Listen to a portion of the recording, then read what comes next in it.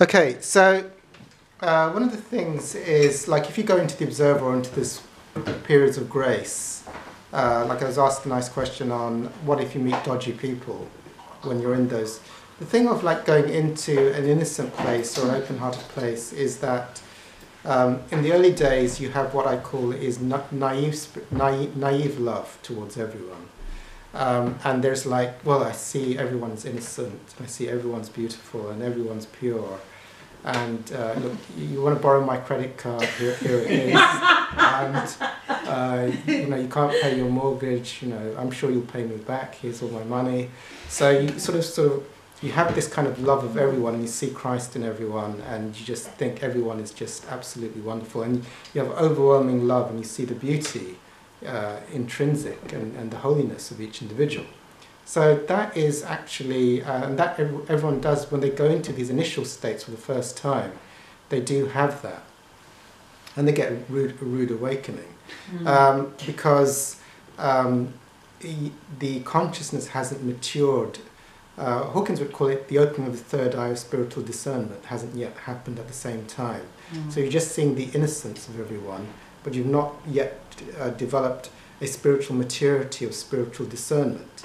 So even with spiritual discernment, everyone is equally lovable and beautiful, but there is a there's a deeper maturity to the an intuitive capacity to not get pulled down, uh, because there is that discernment of uh, intuitive discernment that energetically you see the, the beauty and the div- divineness in them, but you're not going to give them your wallet at the same time. Mm-hmm. You know, or you're not going to fall for like, you know, uh, you, you, can trust me, hand over your money to me, and I'm going to fix your, your, your plumbing, whatever it is. So there is that, even though you, there is. So, so if you survive it and don't go into deep anger and then renounce your spiritual pathway, then you, you, you have to like you, you, you gain spiritual maturity.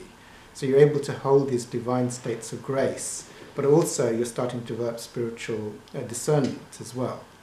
So it's uh, I think those are those old old things in it? Like uh, uh, what was it? Like tie your camel. It's like something like you know like love the camel but tie it up or something. I forget what it was yeah. the expressions. Anyway so I when I said walk gently but carry a big stick. walk gently, carry a big stick. So, so whatever they yeah, like that. So for me, it's like, um, but energetically, as soon as I, it's not, you know, it's, it's an interesting question because you want to like, you have to resolve the grievance and the judgment as quickly as possible because if you stay in that vibration, it's just going to get worse and worse. Mm-hmm. But so you just have to like forgive them, but it doesn't mean that the maturity of the states of grace isn't more discerning and, and more I mean, intelligent is the wrong word, but it's like, you know, there, there, there comes, um, I've always found as you go up in levels of consciousness, it's like consciousness gives you unexpected tools which are not from your head mm.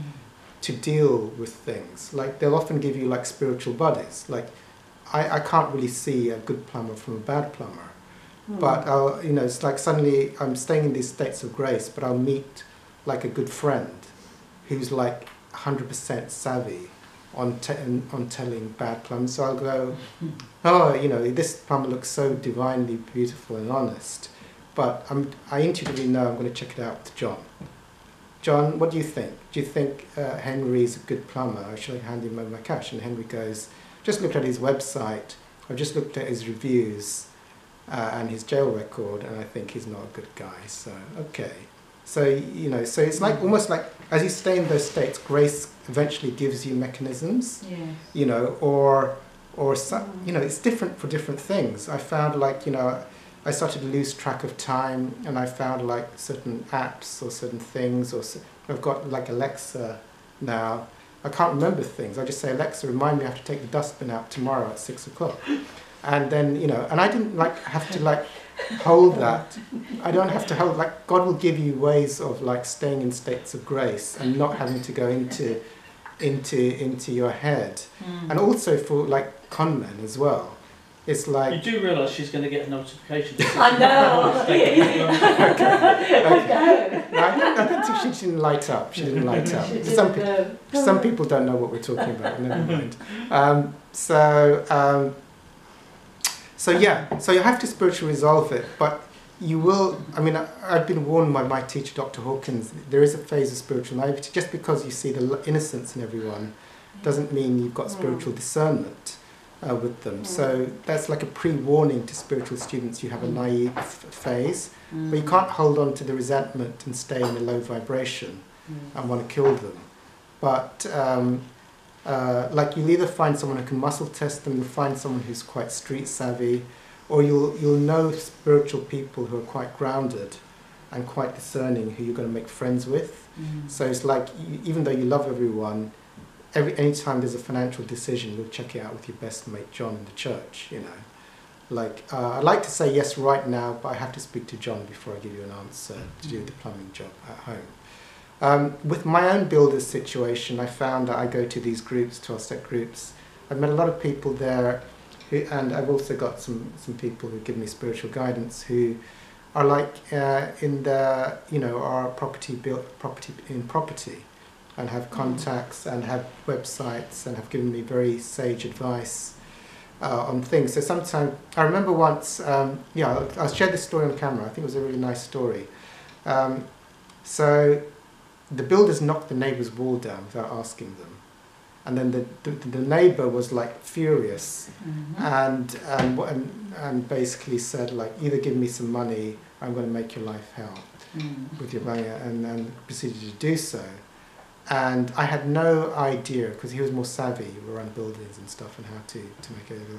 So I sort of prayed my ass off, mm-hmm. and uh, and then I went to my 12 step meeting, and I remember there was a guy there that was like a solicitor. I hadn't seen him for a long time, and I knew in my head like, oh, I wish I had him as a, as best mate. Mm. And I was praying my ass off, and I went to the meeting. I hadn't seen him for a year or two, and there he was sitting sitting in the meeting, and I sat next to him. I said, "Hey, do you mind if I ask you a couple of questions?" And he just and he gave me the answers that I needed within like a minute or two. Mm. And you know, I didn't want to spend like three, four hundred quid on, on a solicitor to give me advice on that, and I got it for free. And that was like, so it's like as you raise your level of consciousness, like an answer will come, or if it's a long-standing issue, um, you know, uh, things will come. But as you, um, so I don't know if that answers the question. Yeah.